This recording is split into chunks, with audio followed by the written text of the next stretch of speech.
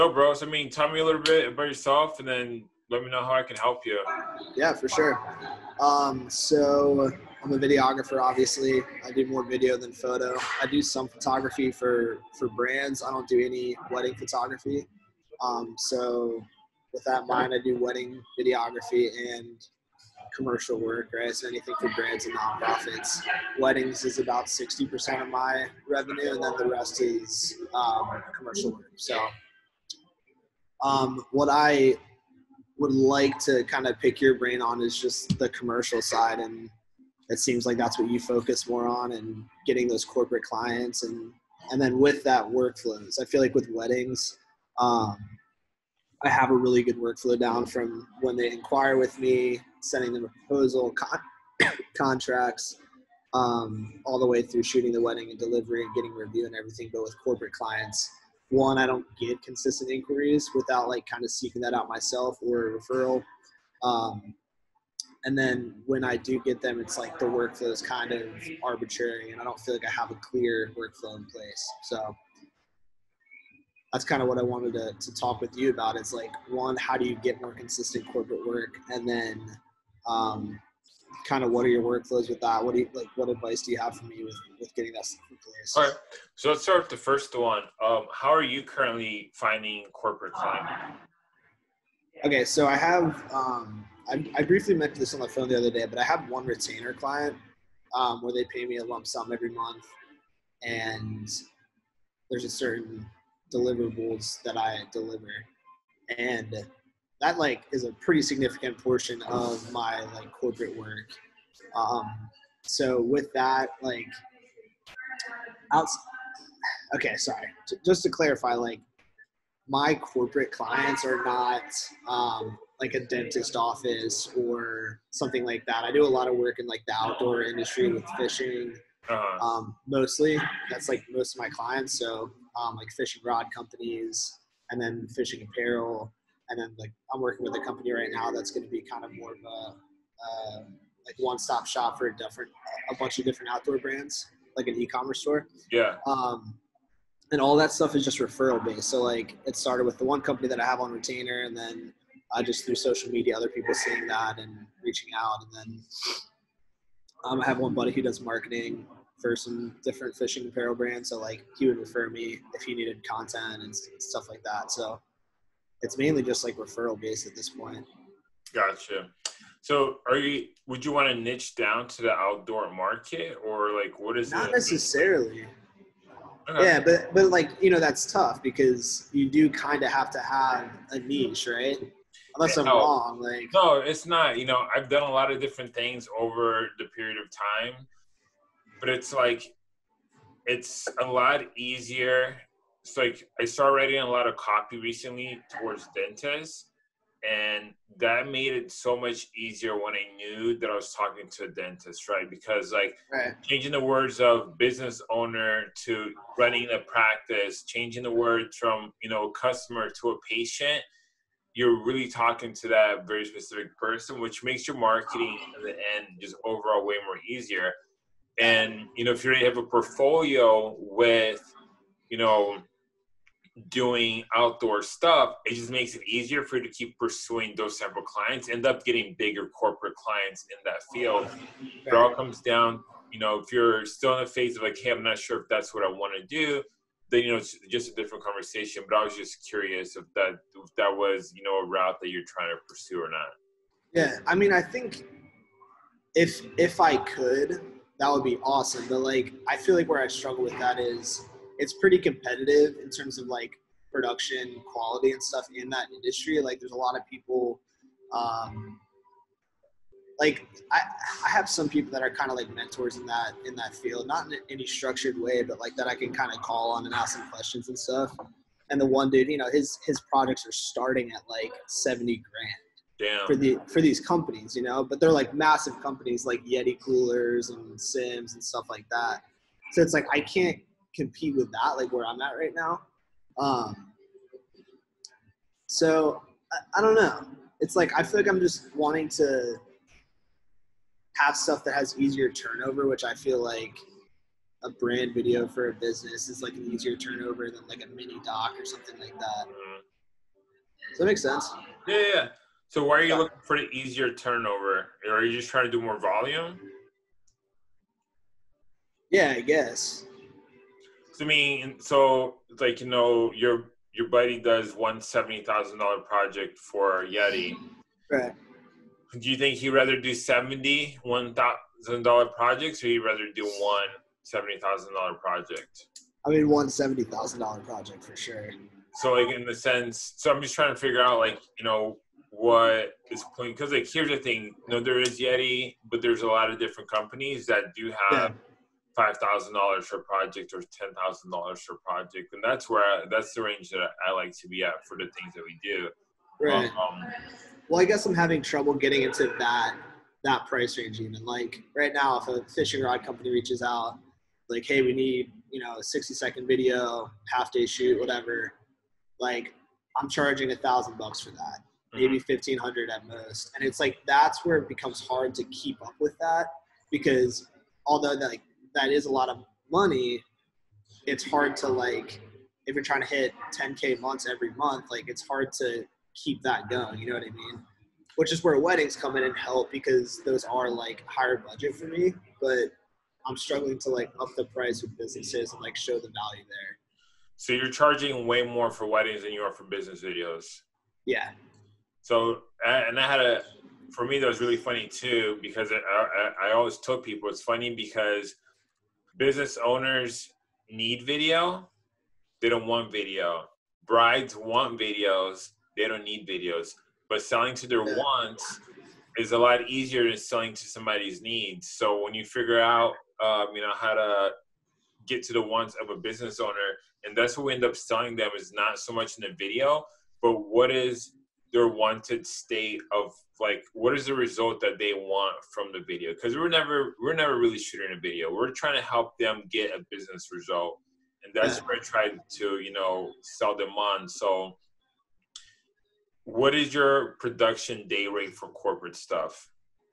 So my half day rate's 400 and the full day rate's 800.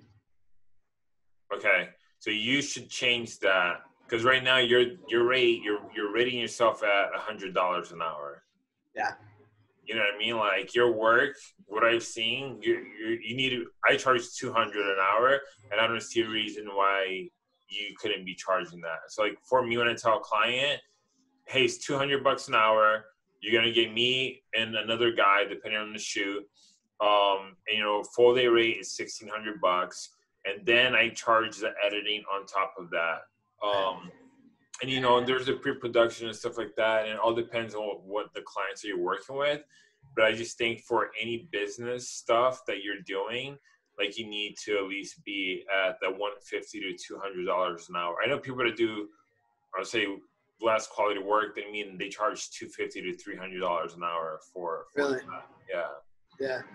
um, so you know, in the sense of like just trying to figure out what with the corporate stuff, with working with other corporate brands, ways that we've gotten in the door with a lot of people is working with marketing agencies that specialize within a certain market.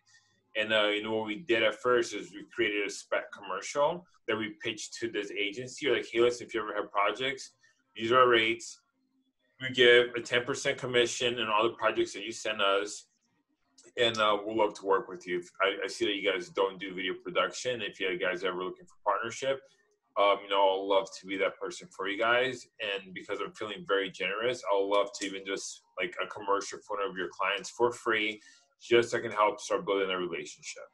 Yeah. um, i'm really big on doing free work to get my foot in the door with people.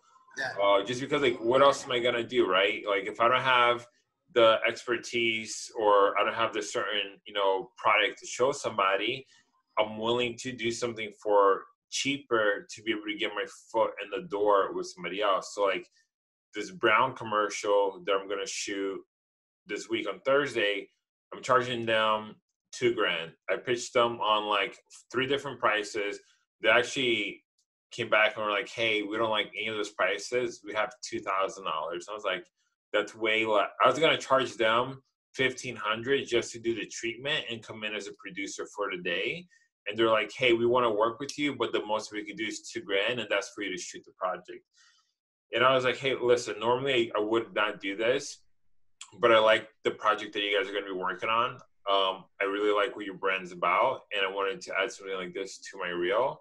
Um, so i'm willing to work with you guys on this project but I also like to get a video testimonial from you guys um, during the shoot as well, so I can use as marketing marketing collateral. And they were like, "All right, like we could do that."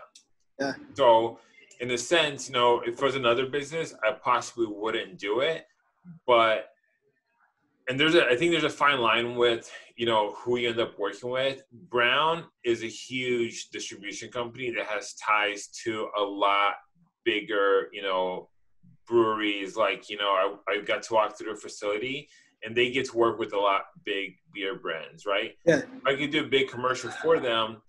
There's the leverage of the Brown name associated with a really good quality video I can create for them that I could show that to other people, and that could easily be, you know, a five to ten or fifteen thousand dollar project. But no one knows that I only charge them two grand to shoot that. Right.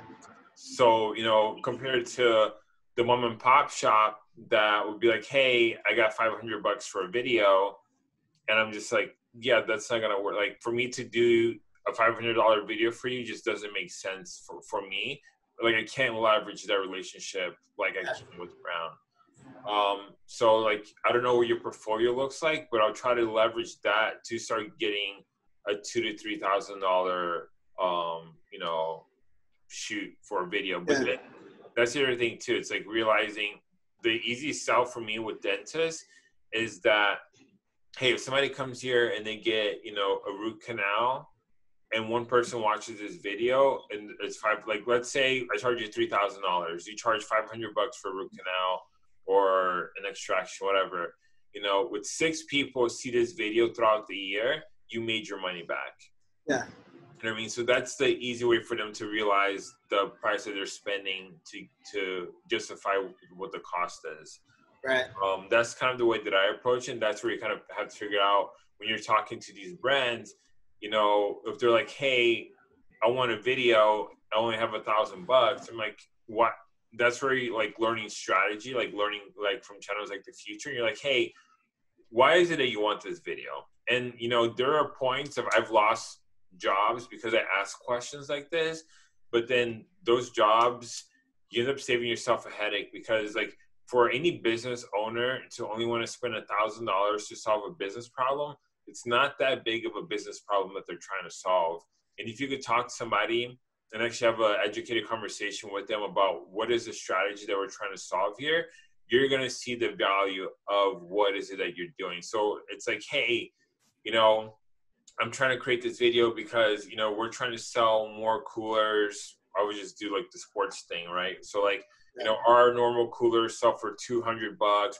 We're trying to increase sales by 5% okay so what is 5% going to look like for a company throughout the year? Well an extra 5% it's going to be like $250000 for a business. Wow $250000 is a lot of money. So right now what you're telling me is that you want to spend $1000 to create a video that's going to generate $250000 and they're like yeah i'm like that doesn't make sense right Right. like how is it like tell me where can you spend a thousand dollars to make two hundred and fifty? So like don't like normally what they say you you want to spend at least you know ten percent of what you know you're looking to invest into making that return. Luckily for you, I'm not gonna charge you ten percent. I could do this for around five thousand dollars. Yeah. You know, you're helping them visualize and kind of solve that problem, but it's one of those things like when somebody comes at me like, "Hey, I have a thousand dollars for business video," like spend a thousand dollars on running ads or doing anything else, but a thousand dollars for a business video is not going to solve your business problem. Right. Um, you know, and there are different situations, right? Like right now, we're pitching a thousand dollar uh, COVID uh, like safety videos for a lot of businesses. And you know, it's not that big of a business problem in the sense that they're solving, but it's more of like, hey, it's peace of mind that you're providing to your to your patients or customers or clients. But it's a really easy for me to create cash flow for my business, and that's right, Right. now with everything that's happening. You know, I am taking on lower paying jobs because I want to inject cash flow into my business. So me going out to shoot a video within you know having it done within two to three hours two hours is really what we've been doing and be able to edit you know within two hours like in four hours i'm making a thousand dollars. You know that's you know let's call it two hundred dollars an hour if it's a five hour job. That's that makes sense for me right, right. it's not one of those things doesn't take a lot of time and thought into the whole process.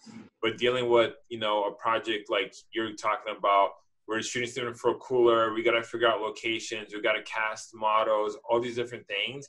The production aspect of that at the end of the day a thousand dollars is not a lot of money even if you're only charging for the for the actual shoot day but all the pre-production that goes into it is not being accounted for. So that's where i think you need to start you know trying to sell them on so much of like i'm going to give you uh, a price for the overall project that includes everything that we're going to do for you versus just trying to price out a half day shoot.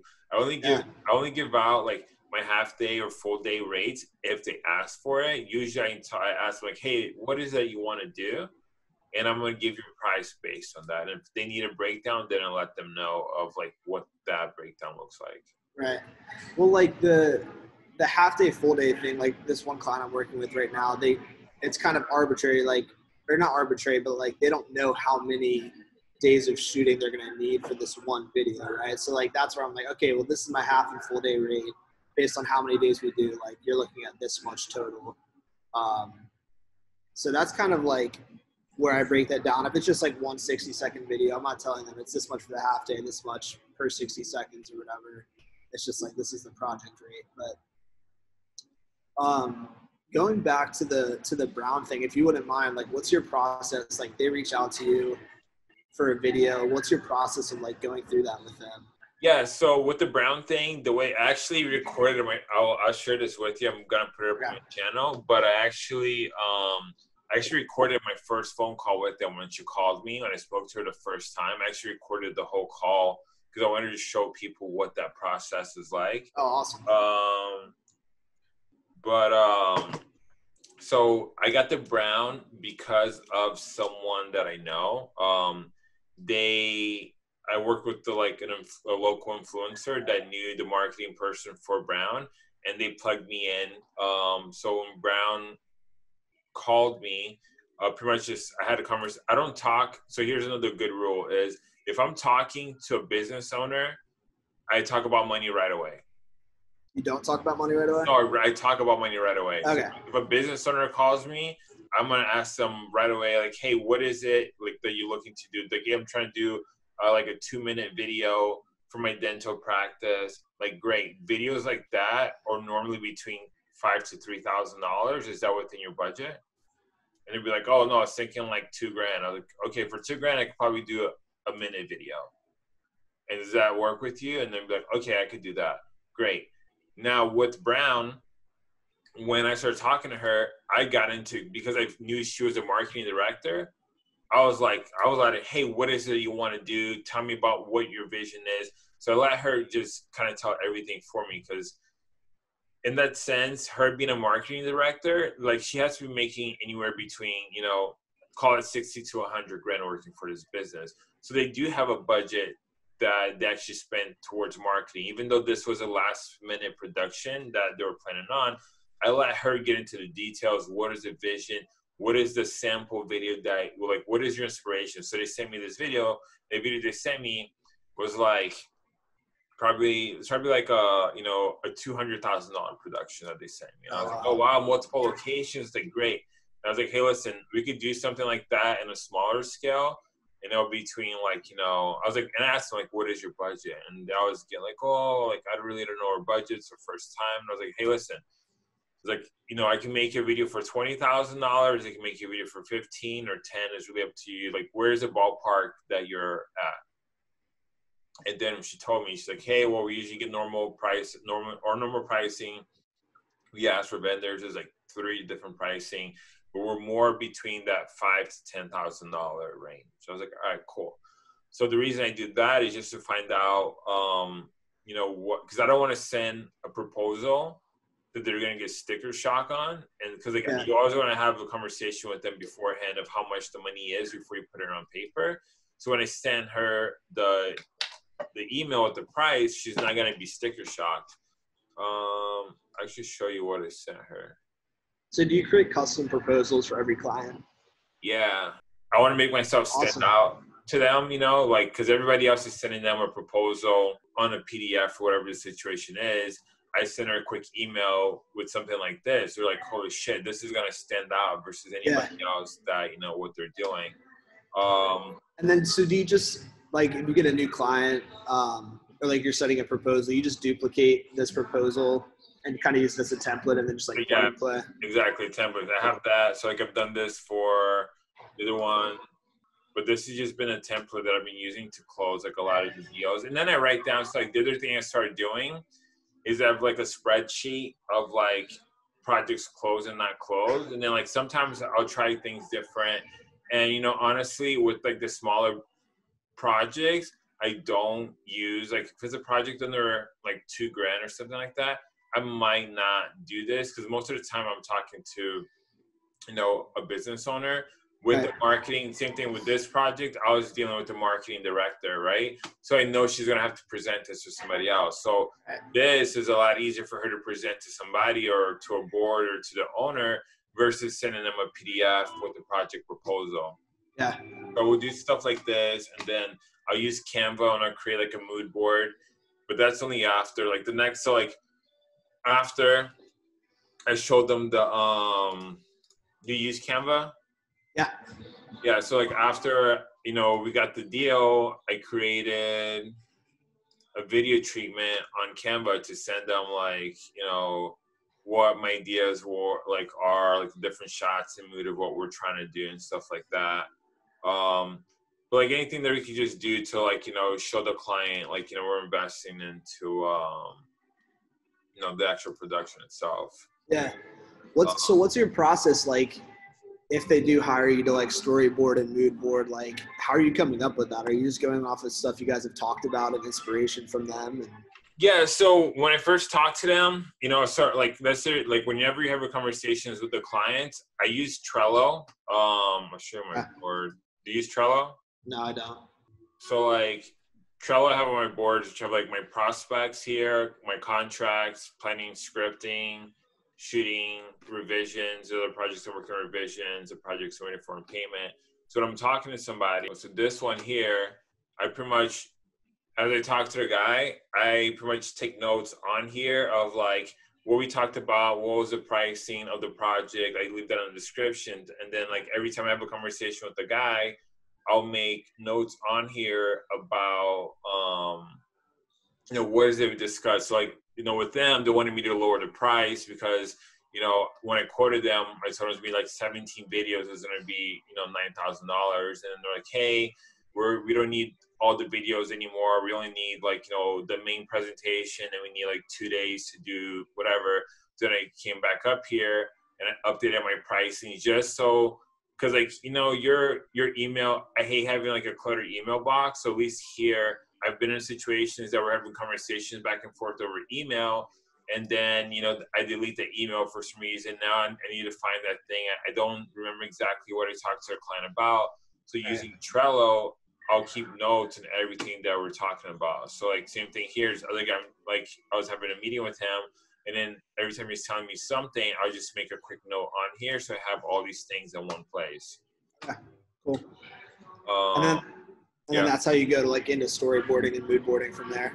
so yes, on- then, correct. So from here, the next thing I do, I go to uh, either go to YouTube and I start like you know.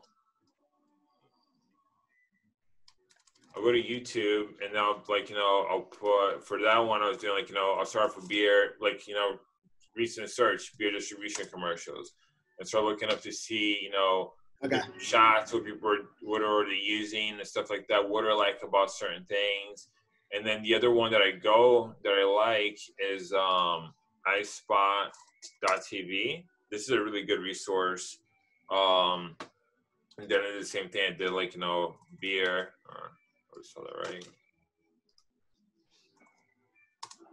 and then here they'll like you know have a bunch of like spots that come up, and then you can like look by the different beers and stuff like that. So like cool. thing, I was looking for dentists. I just put dentists in there, and then you know start seeing what is it that people have.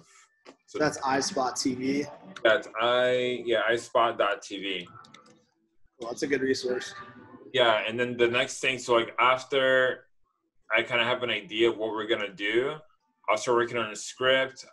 I'll send the script. Do you have them? Do you have them write the script first and then you revise, or is it, or do you write script? it works. Some clients send me scripts and then we revise them. Other clients need us to write the script. So when we do write the script, I always tell them like, what is it? Like that's where the whole strategy comes along because um what happens is, you know, when you let the client write the script, like the initial script for Brown was like a two minute video. And I was like, hey, Yeah. 30 second video, it's max 70 words. Like Yeah. the less the better. But like what is it the main message that we're trying to convey here? Because I get it, you want to talk about your brand, you want to talk about all these different things here, but at the end of the day, the consumer can only retain so much amount of information. What is the main point that you want somebody to leave the commercial knowing? And like we want to that we care about our local breweries. Okay, so this is gonna be the focus of what we are doing for this commercial. So when we write this script, let's make sure that everything we're talking about adds value to the point that we're trying to, you know, uh, relate on. Uh, because you know, people. We have another client that like every time he talks about his brand, he's like, "We have these features and this and that." And. I'm like, "You're talking about yourself the whole time. Like you're not talking to your audience. They, I get it that your product has all these features, but it doesn't necessarily make their lives better. So like, let's rewrite this and you know let's focus on the pain points of like how this benefits them not so much on the features of your product because at the end of the day like you know the features on a mercedes benz versus the bmw all the same shit right? But it's more just like how does mercedes benz makes you feel versus the bmw and that's what they really sell they, they sell you on like the experience of mercedes benz you know it's very classy luxurious where BMW is the ultimate driving machine. It's a luxury car that's meant to be driven fast and you feel like a badass in it. So like Yeah. tell you on like all wheel drive technology and da da da da. You know, then Tesla's a little bit different because they're a very different car company. But like you know, you look at any other piece of advertisement, they stick to one core message per video, and that's really like, hey, if you want to have multiple messages, make multiple videos because um, Donald Miller has a really great saying of like every time like you put out a piece of content or you're trying to do a video, like think of it as bowling bowling balls that you're throwing at people. There's only so many bowling balls that people can catch or hold. And if you're trying to throw all these different bowling balls on them, at the end of the day, if you try to throw too many, they're just gonna drop them all. It's a lot easier for you to throw one bowling ball at a person and them capture that and hold on to that one certain feeling. But if you're trying to like, layer this in with multiple things, it's not it's not gonna be as effective. It's like the whole um like everybody likes vanilla, right? But if you know, if you make a commercial that's about mint chocolate chip, people that love mint chocolate chip is gonna eat that shit up because they're obsessed. Like I hate mint chocolate chip. But like I used to date a girl that loved mint chocolate chip and it feels like mint chocolate chip Kit Kat or mint chocolate chip ice cream, whatever it is, like if she saw it, she would buy that shit.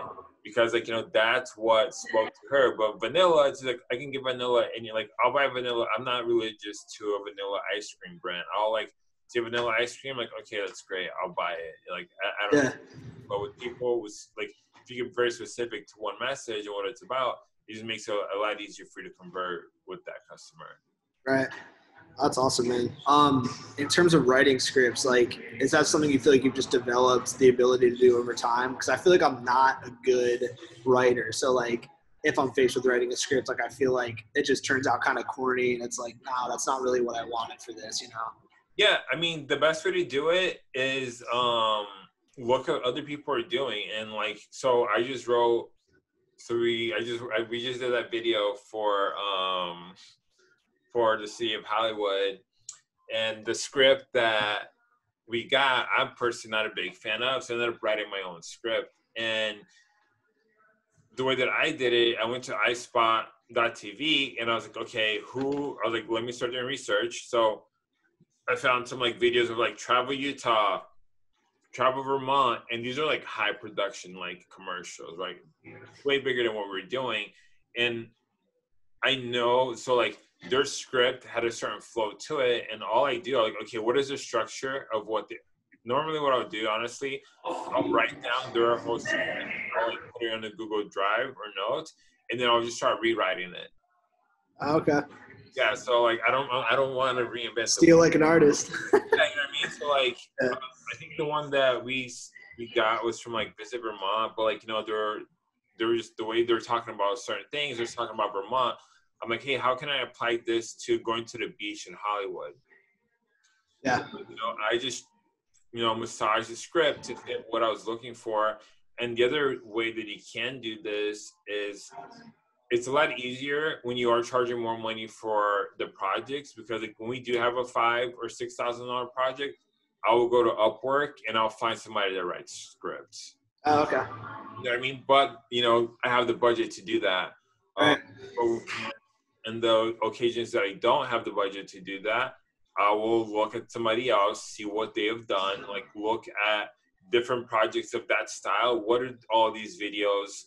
Have in common? What is the structure that they use? What what is it that I'm missing in my script to do that? Yeah. Okay. Cool, man. It's practice. really like, helpful. I read, there's another book that this one's pretty good.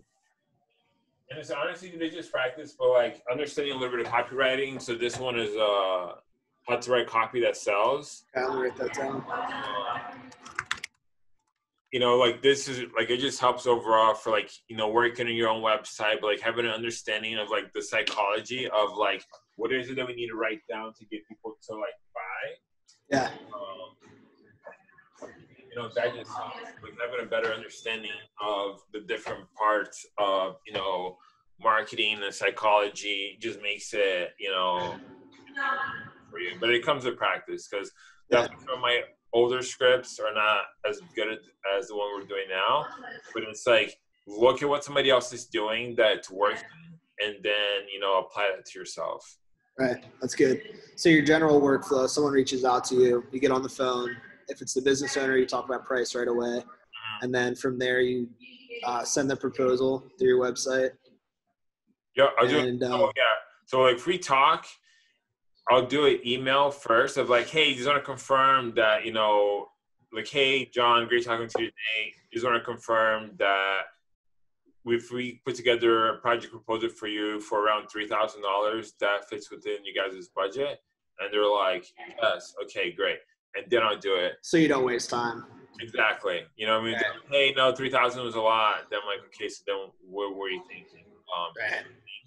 So then, like, so then I'll do that proposal I send that out to them. Are you using any software for sending out proposals? Emails. No. Emails? Yeah. So like I use um. You use HubSpot, don't you? Yeah, I use HubSpot. They have a free version. There's a lot of different ones that people use, uh, but like able to know when your clients are opening your emails is huge. Yeah. I mean, so like if I have a client that I see opening my email three times and clicking on the links, I'd be like, I'm like, hey John, what's up? How's it going today? I'd be like, oh hey Rodrigo, I was actually just looking at your proposal. I'm like, oh awesome. Or any questions that I can answer for you? Um, or, you know, or if you like, you see them open your emails and you call them and you're like, hey, I just want to see how the proposal. If you had a chance to look at the proposal. Oh, we haven't had a chance to look at it yet. Like, okay, that's cool, but you know, internally, I know that they had a chance to look at the proposal. It allows me to not wonder if they got it or not. Russ just lets me know, okay, well, he's telling me he didn't read it, and obviously I know that he did. There might be something there that he might not be ready to move. Like I might give him another day. So the next time I follow up, like, hey, I want to find out if you had a chance. Yeah. Like, is there a, is there something that's holding you guys back, you know, from moving on and stuff like that? But it just allows you to be more prepared with on with talking to the client. So what um what software do you use for that? HubSpot.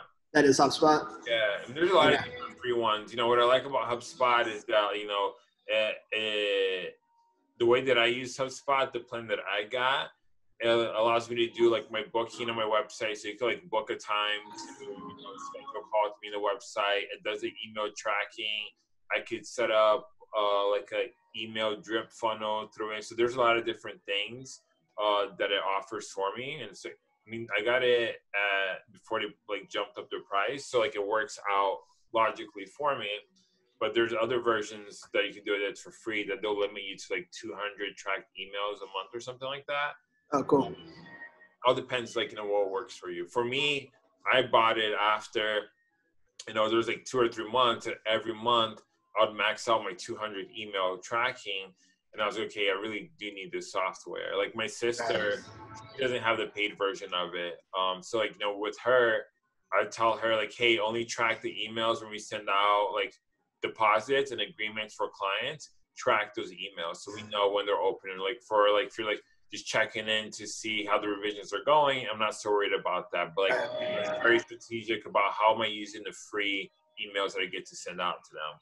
Yeah. Okay. Um, so then after we get the stuff, so after we send a proposal and they agree, I'll email them an agreement through either like GoSigner or eSign, DocuSign, whatever it, it is, with a link in the email for the deposit for the production. So like I try to minimize the like points of contact as much as possible and pretty much just having one email. One email has, you know, the agreement and the deposit on there, makes it super easy for them. Yeah. After we get the payment and the agreement signed, then we actually start the whole production process for everything. Okay, so and then with your agreement, are you just using generally the same um, contract for each client and then just adjusting based on the scope of the project and whatnot? Yeah, so we have we have like three main agreements that we use, and the main one's gonna be like, you know, actually, honestly, it's only two agreements that we really use with clients. It's going to be like our general production agreement, which like would be you know our project scope of what we do, um, like whatever project scope, the like the service like the service agreement, what they're going to get, the deliverables, and all of that. Right.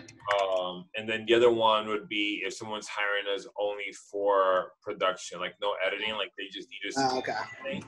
But those are really the only two agreements that we use. Uh, we will once in a while use like an editing agreement that we like let the client know like, hey, our estimated cost in this is 500 bucks to edit this video based on $50 an hour. If we go over this, then we'll let you know, but this is the price and then we'll get an initial deposit on before we start editing stuff for a client. Because okay. I've recently done something for somebody that you know they literally like were seventy five percent in, and he just like ghosted me. And I like spent you know hours working on it, never heard back from the guy. So now it's just like you know we I'll take a deposit on editing, and then on editing projects we do watermarks on it, and then we also use uh, Dropbox with like the paid version. So we disable the download version on the. Okay.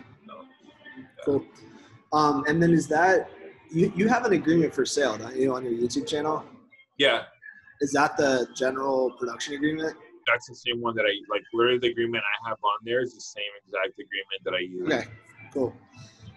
Yeah, because like that's you know you know that's like for weddings, you know, I have all in one place. It's like I send them the proposal where it just has my three packages, but they can select it, sign the contract, and pay the retainer fee like all in one place. But then commercial clients, it's like, oh yeah, like let me put together this contract and send them an invoice, and it's just like kind of all over the place. So yeah, I mean, it's not. I'll show you. Uh, I'll show you one of mine. Um, So this one's slightly modified just because we we updated it uh, since we launched this one. But this is pretty much what it looks like. You know, scope of work. Uh, we say what we do, what they're gonna get. The agreement goes over. You know, Rodrigo will be working with this and that. Deliverables. Um, what's included, what the price is, what the payment terms are, client manager direction, the timeline changes how we're able to use like you know your logo and use this for our um what do you call Portfolio. Portfolio, and conclusion, and then where they can sign it. Okay, cool.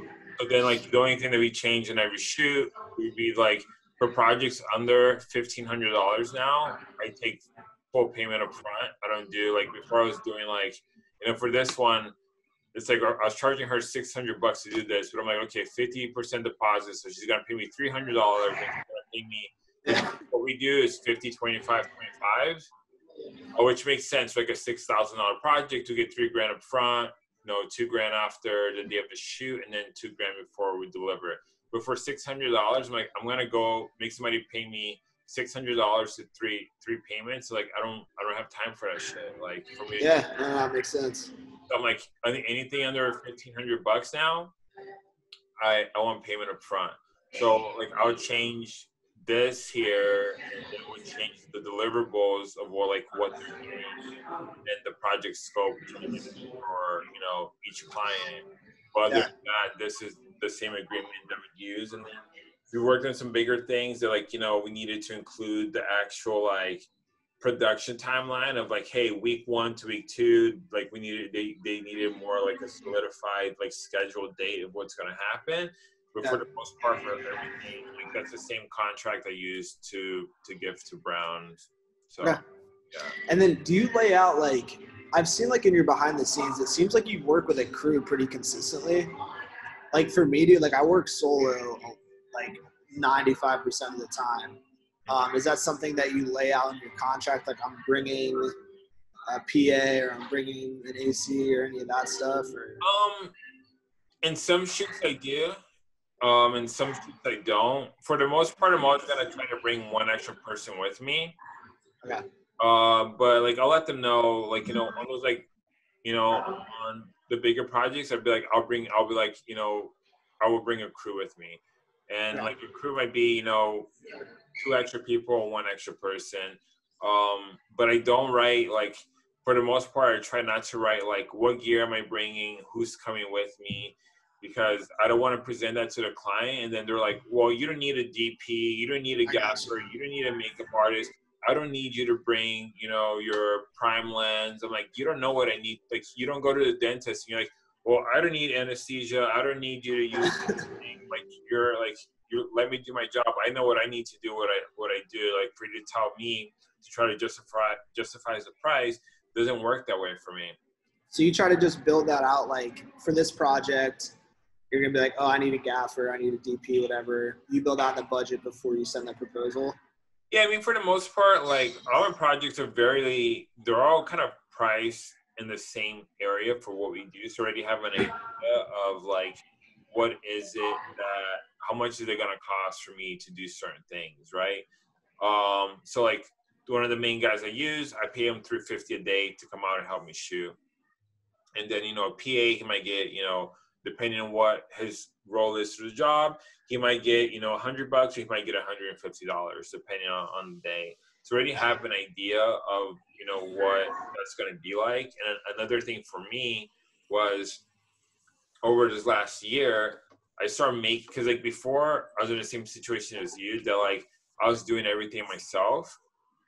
It was great. I was making more money, but then I was also being more run down because like, you know, that means with having to set up the lights, having to set up the mm-hmm. camera, having to set up the audio, all these different things, there's always more little things that went wrong versus like I'll pay somebody money to come in and help me makes my life a lot easier. Like I'll make less money on this project, but I'm gonna have a more successful project doing this. And that's mm-hmm. gonna lead me to having more successful projects along the way, leading me to having, you know, better quality products. So like the other video we just did for CRA, that was a they gave me a two thousand dollar budget as well. But like I paid three fifty for my main guy. I paid three hundred for another guy. I gave the chick that did the like the behind the scenes for me. She wanted to intern, but like I felt bad because she drove down to Hollywood. I gave her a hundred bucks. I gave my other guy, um, my other buddy Gabe that like was helping PA. I gave him two hundred. The other guy, uh, Max, is another PA. I gave him a hundred bucks. End of the day, for a shoot that I was working on for like almost two weeks, I probably made like six hundred bucks on that. It, it was fine with me, but it's one of those things like I love like working on the set. So like I had a crew of seven people with me, for this. Like I love that day. Like being able, working with the crew of people, doing something that I love. I only literally had to worry about like directing and making sure that the shoot was on schedule. Like that was fine with me. But like if I took the two thousand dollars and had to do everything by myself, it would have been a fucking shitty ass day. So like yeah, it's exhausting. Yeah, it is exhausting. So like, you know, I'd rather work with, you know, with more people and make less money and have more, you know, fun doing it. Because like, you know, right now there isn't a lot of work. And, you know, it's one of those things that I should be more conscious about like, you know, I should be trying to do more and keep more money. But it's one of those things like I'd rather have a better time and a better production and bringing on more people to help me do those things. So I don't have to I know that if I put him behind the camera, that he's going to capture what I need and I can focus on a bigger picture of the project. Yeah. Yeah, that makes total sense. So, like in the case where you have seven people, are you shooting at all, or are you just directing at that point? For the most part, like this past week, I was directing. There's like one or two parts that like there was something specific that I wanted to capture, and I'd be like, "Hey, let me take the camera and I'll shoot this." But I have a director's monitor that I use on shoots now, so like you know, he was filming stuff. I was there with the director's monitor. The client was right next to me, and like you know, we are just going over what we needed. And I'm just like letting him know, you know, like, hey, can you go a little bit lower? Can you pan right or whatever the situation is? Um, and there's like you know one, one or two shots that I wanted to Ronin with, and I was like, hey, I'm looking for something very specific. I'm gonna capture the shot myself. Yeah. Um, but for me, I would like to only direct. I don't like I don't want to be like a DP. It's not something that uh you know I love shooting, but if I got to direct, that's where I really want. That's what I want to do, like you know, long term. So I'd rather do that. Yeah. Okay, cool. That's awesome, man. Yeah. Cool. Um, I don't know if I have any other questions right now, but I appreciate you sharing so much with me, dude. Sure, bro. My pleasure, man. I love like just the fact that like you reached out. Um, you know, I really appreciate that.